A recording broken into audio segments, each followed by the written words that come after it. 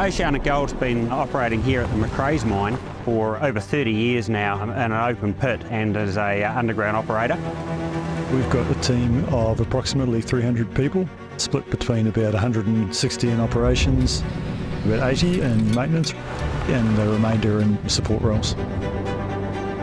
We value our relationship with Terra Cat. They've been a key business partner for this operation in that previous 33 years.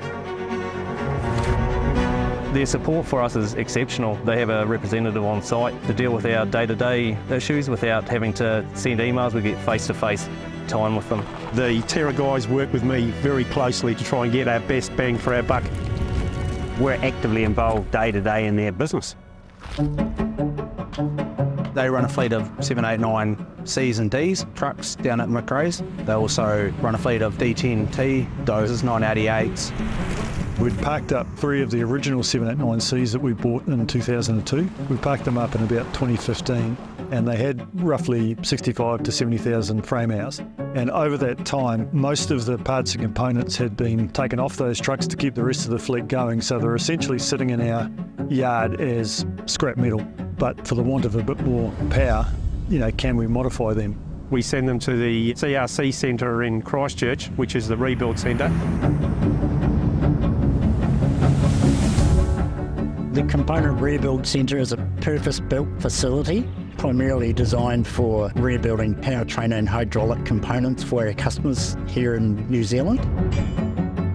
We have a team of 15 people in the shop that cover all areas of engines and transmissions and hydraulics and complete the rebuilds from receiving of the components, strip down and inspection They'll strip those engines down and we should get three lives out of the block. And after the third life, we'll use a cat reman block. We do use cat reman cylinder heads. We use cat reman injectors.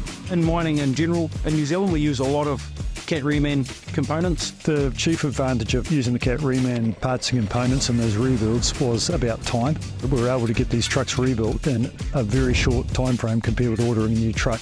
They've had Cat Reman parts from suspension cylinders right through to engines and trans. It seems to be serving the test of time so far with the new one being on 2,000 hours so far and having no issues. The primary things we are looking for was firstly they could get the required payload and secondly that they could achieve speed on grade and both of those tests were passed with flying colours.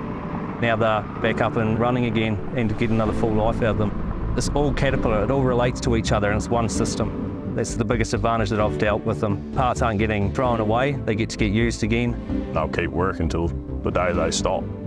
They keep the earthworks moving and keep the world turning.